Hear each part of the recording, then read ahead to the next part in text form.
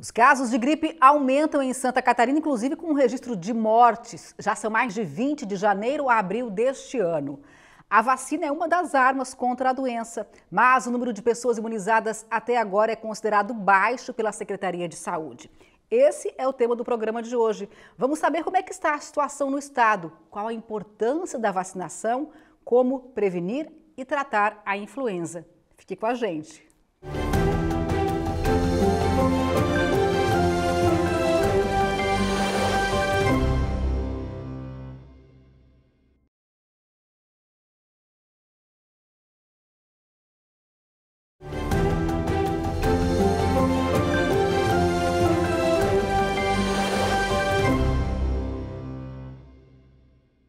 E a nossa entrevistada hoje é Arielle Fialho, gerente de doenças infecciosas agudas e imunização da DIV, a Diretoria de Vigilância Epidemiológica de Santa Catarina. Oi, Arielle. Prazer te receber aqui no Nossa Saúde. Seja bem-vinda. Oi, nós que agradecemos pelo convite, né? Pela oportunidade de estar trazendo a informação para toda a população. Isso mesmo. E qual é a situação da gripe em Santa Catarina até o início de maio? Então, né, nós tivemos aí casos já da gripe desde o início do ano. A gente tem alguns casos esporádicos durante o ano todo. Agora a gente vai já está entrando, né, no outono, que é o período sazonal. Mas como a gente já teve casos uh, ao longo já do início do ano, a gente está mais preocupado, né? Porque a gente já tem óbitos por influenza, até o último boletim já registramos aí 26 óbitos, uh, pouco mais de 130 casos confirmados, né? Na nossa vigilância, da nossa vigilância da influenza. Então, aí a gente reforça tanto os cuidados quanto a vacinação, né? Porque a gripe, apesar de agora como eu coloquei, a gente está entrando num período que é esperado mais casos, a gente já tem casos confirmados uh, desde o início do ano. Então é muito preocupante, né? Sim, ou seja, nem chegamos no inverno ainda, né? Já estamos com esse número de casos aí aumentando no estado. É, por que que os casos de gripe começaram um pouco mais cedo em Santa Catarina este ano? O que que explica isso?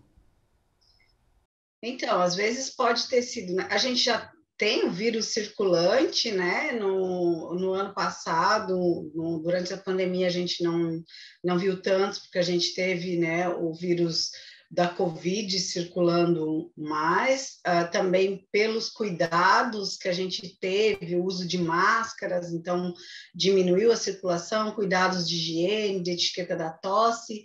Então, com esse diminuindo esses cuidados, a gente começou a ter a circulação maior do vírus da influenza, e aí agora que a gente começa a estar um mês já aí de campanha, né, de vacinação, a gente tem uma adesão muito baixa, então, isso também aumenta a circulação do vírus, né? A gente não tem aí uma população imune. Ano passado também a gente teve uma cobertura muito baixa.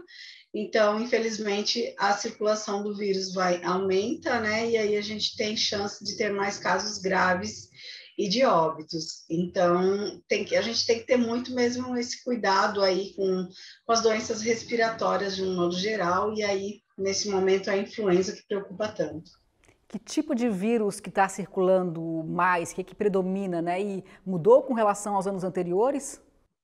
A gente tem aí principalmente a influenza do tipo A, é o que está predominando, H3N2, circulando aqui no nosso estado, né? Pelo que a gente tem percebido dos exames que a gente tem confirmado, dos casos confirmados é uma cepa que ela está presente na vacina, né? Então, mais uma vez aí, uh, reforçando a importância da vacinação dos grupos prioritários, principalmente dos idosos, que são o grupo mais uh, vulnerável, é o grupo que a gente tem visto aí os óbitos. Então, é esse o que a gente tem visto mais circulando neste momento. É, você falou, nós estamos em plena campanha, você falou aí que a adesão está baixa, infelizmente, né? As pessoas é, não estão indo aos postos de saúde para fazer, para se imunizarem, o que é preocupante. É, quais são os grupos que deveriam estar indo até os centros de saúde para fazer a vacina. Vamos só lembrar, então, quais são os grupos prioritários, por favor, Arielle. Então, a gente tem aí né, um hall de grupos prioritários. Nós começamos já há pouco mais de um mês com a campanha, ela teve início lá no dia 4 de abril, para idosos e trabalhadores da saúde, ainda muito baixa a procura, infelizmente, né? Em anos anteriores a gente tinha aí os idosos sempre os primeiros a, a se vacinarem, sempre conseguindo atingir a meta muito rapidamente. Hoje a gente não vê mais isso, infelizmente. A partir do dia 30 de abril, aí a gente abriu para os demais grupos. Então, nós temos, além dos idosos, trabalhadores da saúde, as crianças de seis meses a menores de cinco anos, os professores, as gestantes, as puérperas, né? Puérperas são aquelas mulheres que tiveram um bebê, que estão com os recém-nascidos até 45 dias, né? Após o parto, caminhoneiros, ah, os trabalhadores de força e segurança, ah, entre outros, né? Na verdade, tem uma, são, são vários os grupos, uh, os privados de liberdades, a população indígena, os adolescentes e medidas socioeducativas. Então, o que, que a gente sempre tem orientado, né? Que a população fique atenta, fique atenta às estratégias dos municípios. A gente tem visto, sim, que os municípios estão se mobilizando mas infelizmente nesse momento a gente não vê a adesão da população, né? Então, a vacina, ela é uma, a campanha já é a 24 campanha de vacinação contra a influenza. Então, é uma vacina segura, é uma vacina eficaz e a gente precisa estar tá se vacinando, né? A população precisa procurar e se vacinar para que a gente não tenha um grande número de casos, né, acima do esperado. E vocês conseguem identificar ou entender o porquê que as pessoas não estão procurando os postos de saúde para se vacinarem? A gente até pensava, né, no primeiro momento ali, a questão da pandemia, nos dois anos, né, que as pessoas estavam, não estavam saindo de suas casas com receio por causa da Covid, mas mesmo assim deveriam estar saindo para, para vacinação, né, porque a vacinação também é importante. Mas nesse momento as pessoas já estão circulando, né? Uh, estão saindo de suas casas para outras atividades, então talvez é, elas não acham que não está circulando as outras doenças, né? Muito pelo contrário, está circulando. Talvez pelo fato da gente estar tá falando muito em Covid, nesse momento também a gente está falando em outras doenças, né? A gente está aí com dengue muito forte no estado. Então pode ser que as pessoas achem que não está tendo influenza, mas está tendo, né? Está tendo gripe e as pessoas precisam se vacinar. Então, a gente tem atribuído isso, acho que mais a falsa sensação de segurança, né? As pessoas pensam que não está mais circulando, mas está, né? Está circulando e também é uma doença grave. Então, Sim, as pessoas você também... Fala... Isso, como você mesma falou, né? Chamou a atenção. Já são mais de 20 mortos de janeiro até abril. Já são mais de 100 casos de gripe em Santa Catarina nesse período as pessoas não estão se vacinando. Nós estamos, ao mesmo tempo, né, com casos de gripe, nós estamos no meio de um surto de dengue em todo o estado. Temos também o coronavírus que ainda está circulando. Então, quer dizer, é, fica ainda mais é, grave a situação. Né? E aí, ainda assim, é mais importante que as pessoas se conscientizem de que sim, tem que se vacinar. E aí eu te pergunto, né, como identificar pelos sintomas que eu estou com uma gripe e não essas doenças? Como diferenciar? Então, realmente é muito difícil, né? Elas se assemelham aí com os sintomas iniciais, então, principalmente quando a gente fala em gripe e em coronavírus, né? Elas são doenças respiratórias, então a pessoa provavelmente vai iniciar, pode estar iniciando com os mesmos sintomas, né? Uma tosse, uma coriza, uma febre, dor no corpo.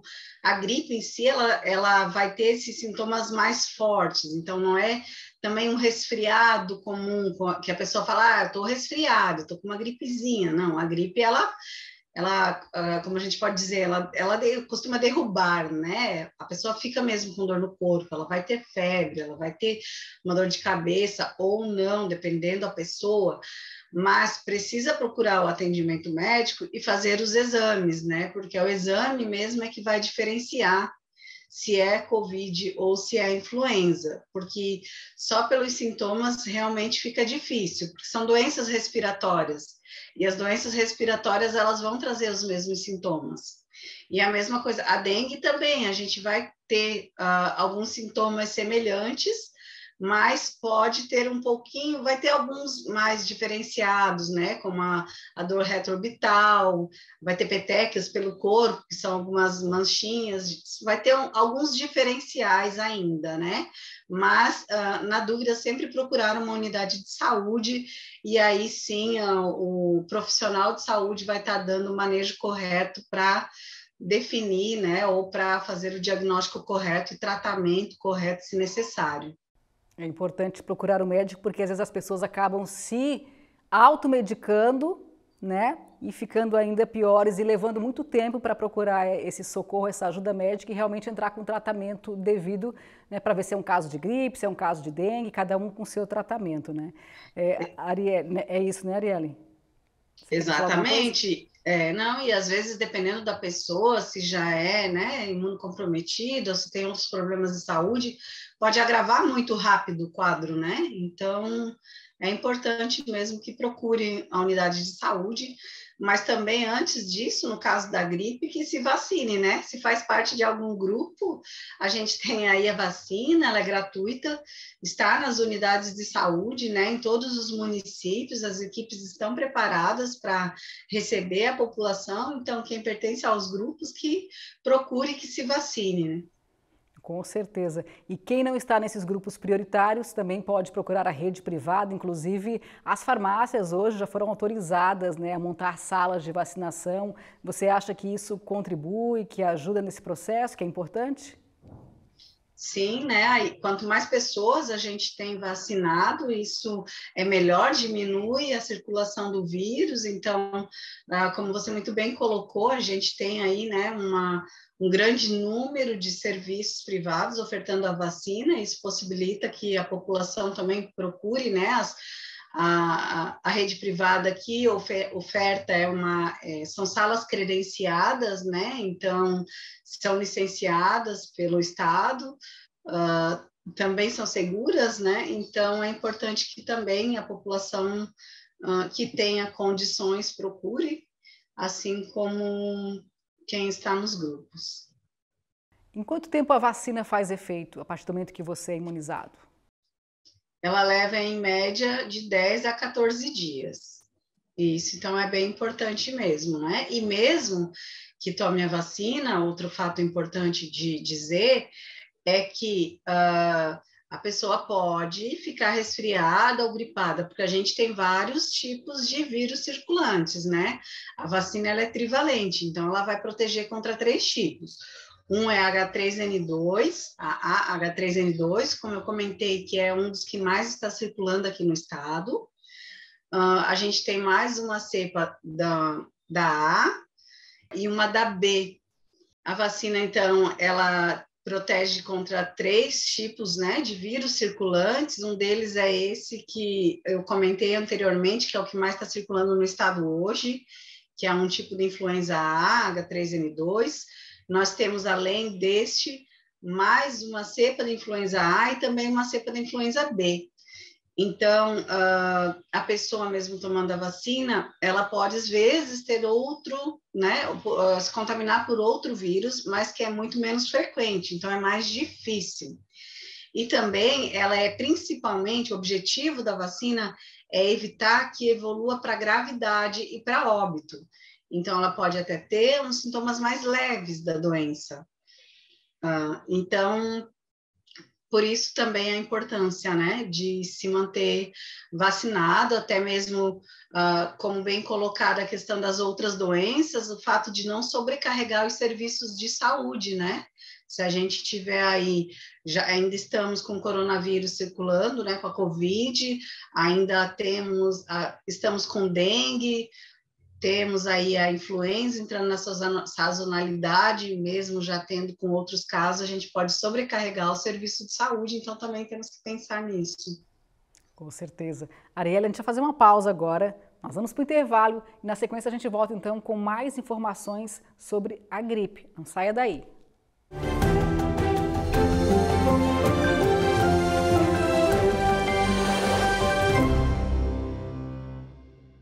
Estamos de volta com Nossa Saúde e a gente segue batendo papo aqui com a Arielle Fialho sobre gripe. Os casos estão aumentando em Santa Catarina, a situação está preocupante. Arielle, é, e tem muita gente que não está indo aos postos se vacinar e também tem medo, né, tem receio. Né? A gente ouve muita gente dizer, ah, eu não vou vacinar contra a gripe porque eu vou ficar gripado, eu me sinto muito mal quando eu me imunizo. O que, que você teria para dizer para essas pessoas? Realmente pode ter alguma, algum sintoma adverso? Verdade, é muito comum mesmo a gente ouvir isso, né? Tomei a vacina e fiquei gripado, não vou tomar mais porque é só tomar para ficar gripado. Mas não, é importante esclarecer que a vacina ela não tem não tem esse poder, né? Vamos dizer assim, ela não vai deixar a pessoa doente. Por quê? Porque a vacina ele é um vírus inativado. Uh, o que, que a gente quer dizer? Que ela é um vírus morto, né? O vírus ele não tem como, não tem mais a capacidade de se reproduzir, ele não tem a capacidade de produzir a doença no organismo da pessoa que está recebendo esta vacina. Então, o que que acontece? A vacina, sim, ela pode dar evento adverso, né? Ah, principalmente uma reação local, que é uma dor local, uma vermelhidão, pode estar tá dando uma febre em raras exceções, porque como é uma vacina já uh, é uma vacina segura, né? Então ela não tem não tem tantos eventos adversos por ser também inativa.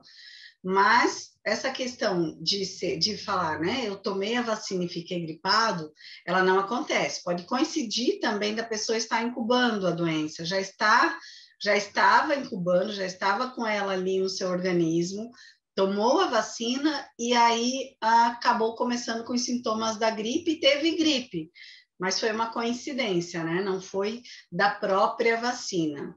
Assim como qualquer medicamento ou qualquer outra vacina, pode sim ter algum evento adverso, mas não que a própria vacina vai causar gripe. Vocês são muito impactados pelas fake news? Como é que está essa situação? Muito, infelizmente. A gente é, é a pandemia da desinformação, né? Então, isso, infelizmente, tem impactado diretamente na imunização. A gente responde N, N pessoas, N processos, N e-mails uh, ah, para confirmar informações, né? Então a gente reforça aqui para a população que o melhor meio de se ter informação é em meios oficiais, em sites oficiais, nesses momentos que a gente tem com vocês, né? Que é o momento que a gente tem a oportunidade que a gente tem de estar tá passando a informação correta e que se recebe alguma informação duvidosa que não compartilhe, porque assim, ah, eu vou compartilhar só para a pessoa ficar sabendo, olha que absurdo, olha que absurdo, e vai compartilhando. Mas a partir de um momento deixa de ser absurdo e a pessoa está passando e as pessoas começam a acreditar sem nem saber de onde veio a informação. Então, isso é muito perigoso, na verdade, né? Porque aí as pessoas deixam de se proteger, deixam de se imunizar e aí podem estar pegando doenças muitas vezes fatais. Estamos aqui, claro, falando né, hoje da gripe, mas como a gente sabe, a gente tem um, né, um vasto calendário, a gente tem outras doenças aí tão graves quanto, que também são passíveis e preveníveis pela vacinação, e aí as fake news, infelizmente, acabam atrapalhando, né? Então, a gente sempre tem que buscar meios oficiais para se informar. É, é um desserviço, né? A gente agora faz uma pausa. Nossa equipe foi acompanhar um dia de vacinação lá no centro de saúde no bairro João Paulo, aqui na capital. Gente, a vacina é super rápida, é uma picadinha, não chega a doer nada e é tão importante. Dá só uma olhada. Em todo o Brasil, cerca de 50 mil pontos de vacinação estão disponíveis para a população realizar a vacina contra a gripe e sarampo. A Flaviane mora em Florianópolis, está grávida e já garantiu a proteção todos os anos, né, eu procuro sempre tomar da influenza, questão de proteção, né? Mãe tem que estar tá sempre cuidando, né? Tem uma gestação tranquila, sem surpresas. E é isso, tem que se cuidar, né? Cuidar da saúde para vir uma criança também saudável, né? Essa é a que a gente está fazendo, é a H3N2, é uma vacina muito importante para o calendário vacinal, todas as pessoas devem vir procurar uma unidade de saúde mais próxima de sua residência. Ela não dói, é super tranquila e a pessoa já fica imunizada. Aí o pessoal tem que procurar a sua unidade porque é, não é uma coisa que a gente vai ter até a metade do ano, ninguém sabe. Ela vem uma quantidade X para aquela população e já logo acaba. Por isso que a gente está convidando o pessoal para vir. É muito importante. Quando vem um vizinho, a gente já avisa para o outro. Quando vem um pai, uma mãe, cadê os filhos, né? A gente está convidando o pessoal. A coordenadora do centro de saúde destaca que, se depender do trabalho e esforço da equipe, ninguém fica sem vacina. Esse ano a gente recebeu dois novos técnicos de enfermagem para nos ajudar neste serviço e nos outros setores. Tentamos fazer com que é, o atendimento seja rápido, né? Quem preferia a demanda espontânea e não agendamento, fazemos da forma que for melhor. A campanha de vacinação contra a gripe e sarampo começou no dia 4 de abril e vai até o dia 3 de junho em todo o país. Em Santa Catarina, conforme dados do governo do estado, mais de 2 milhões de pessoas estão aptas a se vacinar contra a gripe. A meta é imunizar ao menos 90% desse grupo. A gente viu aí na reportagem, né? Tão rápido, tão simples, não dói e tão importante que é se imunizar. Arielle, o que eu te pergunto é o seguinte: o idoso que for até o posto né, para fazer a vacina, ele já pode aproveitar e atualizar a carteira de vacinação, fazer outras vacinas junto com a da gripe? Pode, até deve, né? Vamos aproveitar a oportunidade e vamos colocar a caderneta de vacinação em dia. Então, agora que a gente tem aí, né, o segundo reforço para os idosos, para imunocomprometidos, né, idosos a partir de 70 anos de idade já vai, já faz a vacina da gripe, já faz a vacina contra o Covid no mesmo dia, não tem problema. Se está com outras vacinas em atraso, né, tem a vacina do tétano para idoso, tem a vacina da hepatite B, já pode aproveitar também, que a gente não tem problema nesse sentido não só para o idoso, também para os outros, né? Para o trabalhador da saúde, por exemplo, que hoje a gente está também em campanha da influenza, da gripe e do sarampo, também pode ser feito no mesmo dia. Para as crianças que também estão da influenza, do sarampo, ou se tenha outra vacina para colocar em dia, pode aproveitar a oportunidade, que também não tem problemas de estar tá fazendo simultaneamente a única vacina para criança, mas também que não, na verdade não coincide, porque criança da faixa etária da vacina contra a gripe não é a mesma da faixa etária para Covid, mas da Covid para outras vacinas da rotina, criança tem que dar um intervalo de 15 dias, mas para as demais não tem problema nenhum. Com relação à gripe, tem alguém que não deva se vacinar?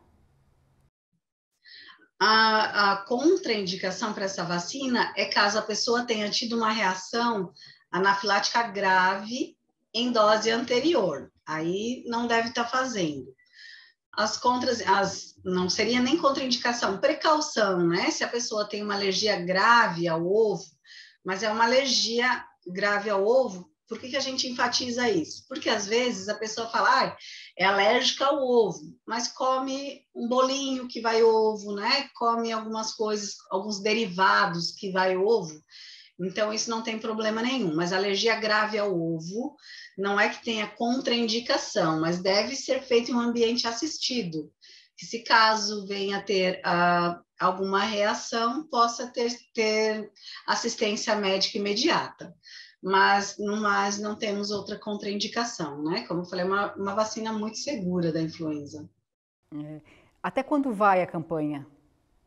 A gente tem aí até o dia 3 de junho, ainda quase um mês de campanha, então vamos fazer um apelo né, para a população, para esses grupos que fazem parte dessa campanha que procure e que se vacine, né? Procure a informação sobre as estratégias de vacinação dos seus municípios, quais unidades estão atendendo, os horários de atendimento e que façam, né? Que aproveitem a oportunidade para se vacinar.